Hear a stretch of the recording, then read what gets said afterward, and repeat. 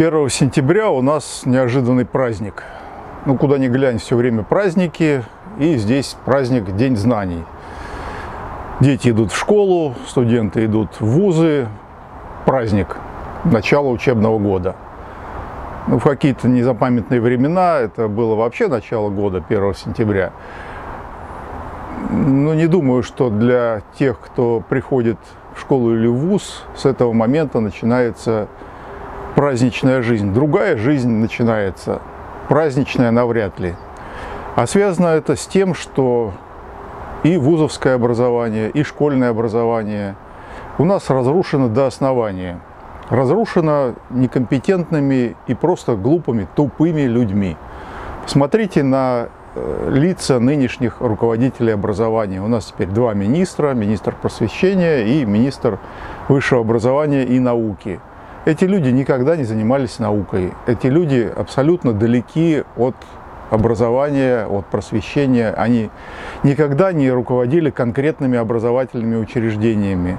У них нет никакого опыта и никакого желания разумно организовать деятельность. И поэтому в этом году, вот в этот день обнаружилось, точнее немножко раньше, но в этот день реализовалось обстоятельство, э, которое требует называть э, 1 сентября днем дебила, потому что дебилы руководят образованием и э, образовалась таким образом глупость. С одной стороны в вузах недобор, а с другой стороны те, кто неплохо сдал ЕГЭ, не поступили никуда. Ну, для многих это жизненная трагедия, потому что э, их призывают в армию, и вряд ли они потом куда-либо поступят с багажом армейской службы, потому что там тоже дебилы заправляют. Потому что кроме отупления и жизни в полутюремном состоянии, это не означает ничего. И в целом, можно сказать, надо отмечать как-то э, вот этот день дебила, потому что идиоты захватили власть. Они не только подлецы, но и просто тупицы, неучи. И это проявляется постоянно и везде. Хоть там в системе образования, хоть в системе здравоохранения, во всех сферах жизни мы встречаемся с чиновниками-тупицами до самого верхнего уровня. И даже хуже ситуация, чем выше должность, тем тупее этот субъект. Просто отбор идет именно так, послушных и тупых. А кто же распоряжается всем этим? Да никто не распоряжается. Просто в какой-то момент надо отдать приказ, э, чтобы мобилизовать массовку на участие в выборах. Вот они сейчас эту массовку им будут мобилизовать, чтобы в очередной раз фальсифицировать выборы. Ну, фальсификация, она ведь состоит не только в том, что подделываются протоколы или вбрасываются пачки фальшивых э, бюллетеней для голосования, но и э, вмешательство в голосование чиновников, которые побуждают учителей, врачей, а через них еще и родителей, там, сотрудников э, фирм, работающих в ЖКХ и так далее – голосовать определенным образом, по крайней мере, приходить на избирательные участки уж точно. А еще есть практика приносить фотографию своего бюллетеня, как ты его заполнил, чтобы отчитаться перед начальством, а оно отчиталось перед вышестоящим начальством. Все это не требует э, никакого интеллекта, требует только подлости. Ну, а интеллект, он только мешается здесь, потому что интеллект сопряжен с э, нравственным потенциалом. Без этого интеллект не развивается. Поэтому отбирают тупиц. Вот, например, э, тупиц Собянин изменил порядок э, предоставления документов, поверочных документов на э, счетчики там, воды, электри... электричества, не знаю, но про, про воду точно. Изменил, и теперь конкуренция. Так тоже будет документы, поверки подавать в какой-то федеральный фонд, информ... федеральный информационный фонд с названием «Аршин». Где этот фонд? Кто его знает. Ну как в сети свободно можно войти. Я зашел, посмотрел, там ничего понять нельзя. Там какие-то Газпромы, Роснефти. И мы, сирые, там эти, эти документы куда-то надо, я не знаю, сканы куда-то отправить, какое-то заявление написать. В общем, чушь собачья. А при этом бумажки, которые приходят, в почтовый ящик бросают, там написано, что фирма, которая поверку провела, она и должна отправить. А как я могу побудить эту фирму отправить? а не как. Вот с нее, с нее должны спрашивать, что она должна проводить поверку, то есть это не моя забота как гражданина проводить поверку. Они должны проявлять инициативу. Хорошо, я должен ответить на эту инициативу, я должен позвонить, пригласить в определенный день, и, а дальше уже не моя забота.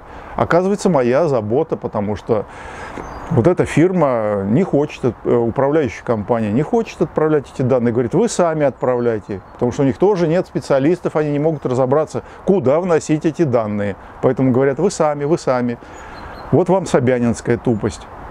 Другая тупость, вот я сталкиваюсь с тупостью э, здесь вот воробьевских чиновников в Подмосковье, которые два года уже почти, ну полтора, там больше уже ближе к э, двум годам, никак не могут разрешить простейший вопрос, э, заставить человека, который э, захватил часть общественной земли, огородил забором и сузил проезд э, по нашей деревне, снести этот забор. И они все время почему-то не попадают. Тут есть там кадастровый номер его участка. Они почему-то пишут ответы на все наши запросы, обозначая кадастровый номер нашего участка или в другую сторону соседнего участка, но никак не попадают. Мы им пишем, они нам же отвечают, что э, вот этот участок земли захвачен вашим, от вашего участка выдвинут. Но постоянно эти ошибки, они вообще не читают, получается, что они читают текст, они не понимают, что написано. Они не смотрят на карту, они не вникают в то, что написано. Человеческих слов они не понимают. Абсолютные тупицы, к ним обращаться невозможно, они элементарный вопрос не могут решить. При этом ну, скажем, вот газовое хозяйство, Мособлгаз, они решили вопрос там с, тоже с незаконной постройкой прямо на, газовом, на газовой трубе. Там человек возвел себе такой надал, чтобы э, около его забора не ставили машины. Вот этот надал снесли, да, молодцы, довольно быстро решили, всего-то со второго раза. А эти, ну это уже, наверное, раз пять в разные инстанции направлялось ну, абсолютно невозможно. И когда им звонишь туда, в их администрацию, они не говорят, хорошо, мы решим этот вопрос, извините за ошибку. Они говорят, вот вам телефон, позвоните другому чиновнику. Подождите, вы в соседнем кабинете с ним работаете, ну хорошо, на соседнем этаже. Вы что, сами не можете разрешить вопрос? Нет, они не могут разрешить. Они сами ошибаются, сами морочат себе голову, потом нам голову. Ничего не двигается. Вообще в Красногорском районе, Подмосковье, э, тупость чиновников сопряжена с э, беспредельной наглостью. То есть воровство здесь э, масштабнейшее, торговля землей, она уже давным-давно поставлена на поток, здесь э, миллиардные состояния образовались. Ну вот сейчас у клинского чиновника тоже глава района всего-то изъяли на 10 миллиардов э, собственности и нет, наличкой там что-то миллиард наличкой или 10 миллиардов наличкой. Что-то, в общем, фантастическое сейчас. Не припомню, и тут э, ошибка в 10 раз не будет э, серьезной, потому что может быть и так, может быть и так. Глава Клинского района вот э, с таким багажом, там, 1700 объектов собственности, вот наличка, это бог знает что. То есть миллиардные состояния составляются вот таким путем. Чиновники считают это нормой. Красногорском районе здесь э, варье, можно сказать, потомственное. Из одного поколения чиновников в другое поколение чиновников. Ничего не делают, всем портят жизнь. Э, если где можно поживиться, тут же начинают выгрызать никогда никакой помощи не оказывают. Суд Красногорский точно такой же. Я думаю, что это не единственное место, это тиражируется всюду, вот все Подмосковье, не знаю, наверное, в других областях тоже вот такие же тупицы и воры сидят у власти и занимаются вот этой ерундой.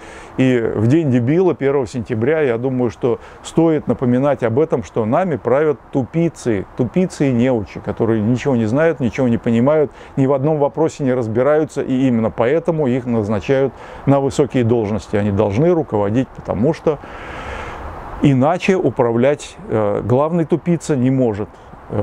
Тупой еще тупее. Вот это игра. То есть тупицы назначают на должности еще более тупых.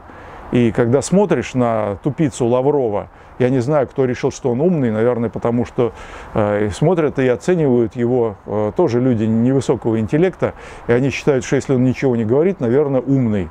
Как помолчи, за умного сойдешь. Но тут он брякнул. Брякнул по поводу того, что те, кто сейчас э, критикует Сталина, те, значит, э, выступают против против государства за пересмотр итогов Второй мировой войны. Ну, он совсем псих. Ну, тут э, отметился тут, псих и преступник. Все как-то одновременно. Ну, поскольку он псих, то как его судить как преступника, если над ним еще и стоит дебил. Да? Вот такая, э, такой треугольник. Преступление связано с тем, что запрещенная террористическая организация в Россию приглашается ее руководители или там представители, и прямо в МИДе Лавров с ними встречается, ручкается и что-то там обсуждает. Что тогда стоят все эти решения о признании какой-то организации террористической? Завтра ИГИЛ будет в Кремле сидеть, будет принят, с ним будут обсуждать, с этими террористами будут что-то обсуждать. Или там Кадыров у нас вообще просто назначенный, назначенный террорист, глава банды, самой настоящей банды целого слоя бандитов, которые вырастили в Чечне, они теперь по всей стране болтаются, все легализовали свой бизнес, все прошли амнистии, которые им щедро предоставляли тоже по сигналу из Кремля. Государственная Дума беспрерывно голосовала об амнистиях для участников э, вот этого вооруженного конфликта, где э, не щадили наших солдат и офицеров, их-то сажали и надолго, если не навсегда, если кто-то и выходил, то со сломанной психикой или со сломанным здоровьем, ненадолго его хватало. А этих отпускали просто пачками, пачками этих бандитов отпускали. Это считалось, видимо, умной политикой. Нет, это не умная политика, это политика, которая ведет к гибели государства. По сути дела, оно уже погибло. Если под руководством Ельцина еще прощупывалась государственность, какая-то еще остаточная государственность, то сегодня ее нет вообще, страна не управляется. И э, различные кланы ведут между собой борьбу за контроль над собственностью, денежными потоками и над мозгами граждан, чтобы они особо не дергались по поводу того, что у них больше нет никакого права. Не то что правового государства, вообще никакого государства.